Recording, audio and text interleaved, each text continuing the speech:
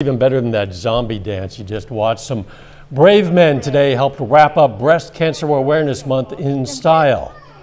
High style. Guys raced, or at least wobbled, in high heels in the first ever Freeman Health System Stiletto Sprint as the crowd cheered them on. Participants included Joplin City leaders and some area media representatives. Among them, our very own Chris Warner, rocking heels right there in the middle.